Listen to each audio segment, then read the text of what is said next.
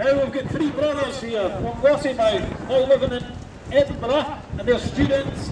We've got Jamie, Andrew, and Aaron Williams. And the big guys are going a wee bit of splash. Got a big splash here. The medal jump in 1992.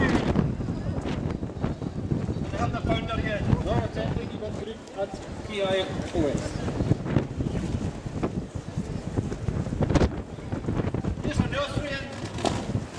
Gentleman, it's Gillian Lidinger for Salzburg. And he's at VRG school.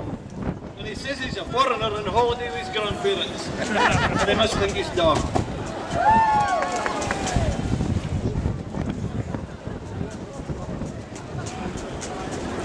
Jump number 47 here, a young lady all the way from Knockyball Cottage in Turriff. It's Robin Garden.